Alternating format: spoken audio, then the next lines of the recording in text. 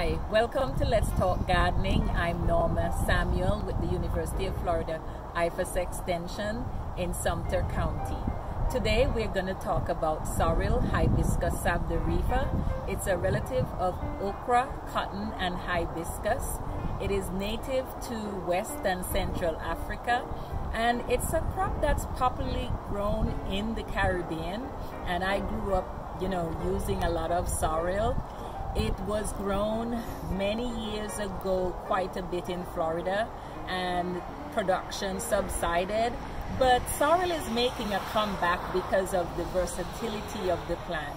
You can use pretty much all parts of the plant. The seed can be used as an alternative to coffee. You can also use the leaves as spinach or you can use them in salads. But the part of the plant that we treasure most is the calyces of the flower. You can make jams, wines, jellies, and sorrel drink as we call it. So sorrel is also referred to as um, Roselle. Some people may know it as Roselle. It's also referred to as Jamaican sorrel. So there are lots of different common names. So I'll tell you a little more about the sorrel plant. So let's get up. Sorrel plants are a wonderful addition to the home landscape and you can see that the leaves are deeply lobed and they have these beautiful red stems and they get to about four to five feet tall so when you're adding them to your landscape you want to plant them around four to five feet apart these we've planted in the ground since around late March. So they've been here for a while and we've been lucky that we got a first early harvest. And so it was a small one, but what we do each year is that we save the seeds from that early harvest. So that way we're kind of selecting for the plants that will, you know, produce early. The problem that we've had with our sorrel plants the last few years is that they were being eaten by rabbits. So every time we put a few plants out, the rabbits would get them. So we came up with a strategy this year to kind of get around the rabbits so the plants can mature.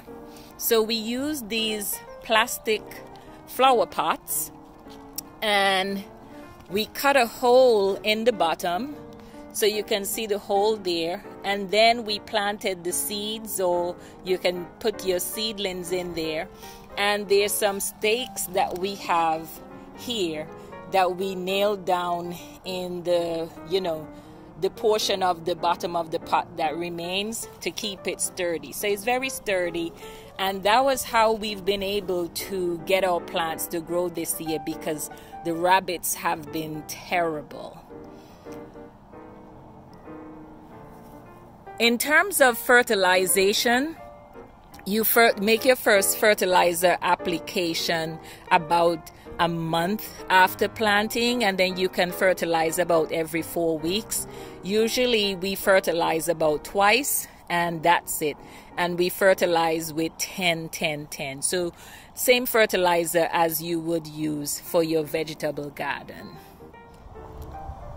Sorrel plants are a beautiful addition to the landscape because of the flower and unfortunately I don't have any blooms on these right now but the flower is similar to that of okra and cotton as I said before they're all in the same family.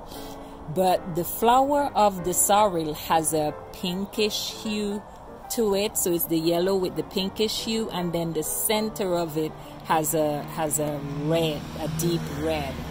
So after the petals fall off you have the calyces of the flower remaining and this is the treasured part of the of the plant for me so after the petals fall off it will take about three weeks before you can harvest these. So what I'll do, I'll just take a scissors or a knife and I'll slip, I'll clip that off.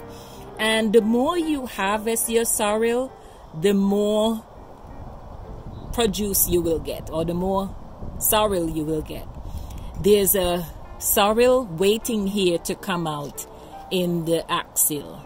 So once I remove this one, then it will allow that other one to develop. So that one will not develop until fully develop until I take this one off.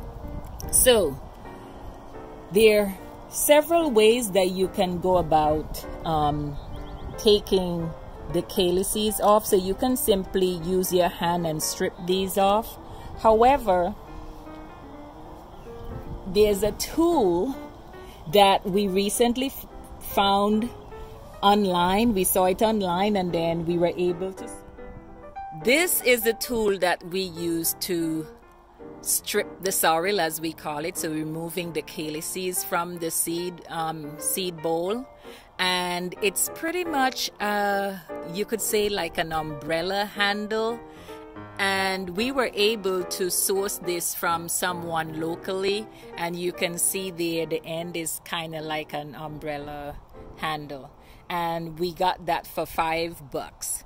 And the edge here is a bit is a bit sharp so we just use that to strip it. So let me demonstrate that. This is the boll and I'll just push this under there and you push that up and simple as that you have your sorrel stripped and you can see the hole right there. You can either freeze these, so I usually rinse and freeze these, or you can put them to dry. So it's whatever your preference is, but I prefer them, you know, frozen. It maintains the fresh flavor I find when it's frozen. Um, but some people prefer dried. The benefit of drying it is that it utilizes less storage space, but I, I prefer it um, frozen. I'm sure you're curious and want to find out well, just how many plants do I need to put in the ground? And I would say if you have a small family, you can put in one or two plants and you probably don't want to plant as much as as much as I do unless you have, you know, space to freeze them or you have space to um, you know, dry and then store them. Last year, we had a plant that came up in my flower bed, and that's what we would call a volunteer plant. So it's not a weed, it would be a volunteer plant. And I decided not to move it. And it really liked the location. And that one plant, we were able to get about five, five and a half five gallon buckets of sorrel just from that one plant. It was the most prolific sorrel plant we've ever had. We got so many um, bolls or um, from that.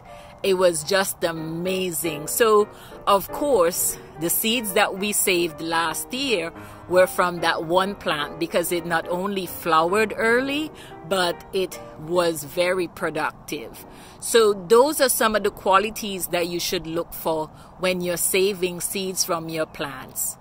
The desirable characteristics that you're looking for. So, if you find a plant that you're growing and it has characteristics that you like, certainly save the seeds from from that landscape we usually plant the sorrel as a hedge and when this you know matures it is absolutely beautiful. So you see this row of plants with the red stems and then you see the blooms. And if you have an area like this with full sun because sorrel requires full sun I would highly recommend you put in a hedge like this. Nothing better than having an edible hedge. The only disadvantage would be that you would have to replant it every year, but it comes to about five to seven feet depending on um, how well you're taking care of it in a very short time. So, the only problem that we've had with regards to disease is fusarium wilt. Another problem that you may come across is root knot nematodes, and we've spoken about root knot nematodes in a few episodes before, but that's not a problem that we've encountered here in our landscape. So, this particular one is suffering from fusarium wilt, and we do not apply any treatment. And how do you know it's fusarium wilt? Well, if you're watering and you notice that, you know, the plant isn't perking back up after you've given it adequate amount of water, then you know there's something else going on. So the first time we noticed this, we submitted a sample to the plant disease clinic and that was the diagnosis that we got. So after the first um, few years, what we started to do was rotating the planting holes. So you can rotate, you know, um, either within the row or you can rotate between the rows. So that way you're shifting the location of the planting holes each time. So we're not spraying for the disease, but rather we're using a cultural approach to containing the disease. Another pest problem we commonly see on sorrel here in Florida is mealybugs.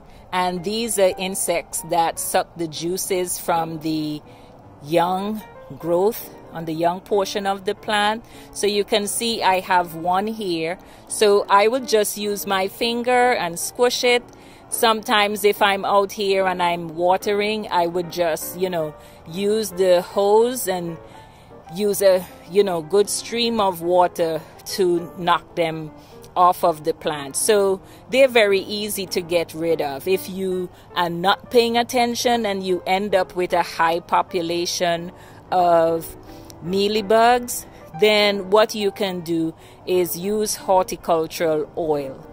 Now, remember you cannot use horticultural oil when the temperatures are high, but just constantly monitor your plants when you come out the young tips and you'll be able to get ahead of these mealybugs when they do um, try to attack your plant. Thank you so much for joining me for this episode of Let's Talk Gardening.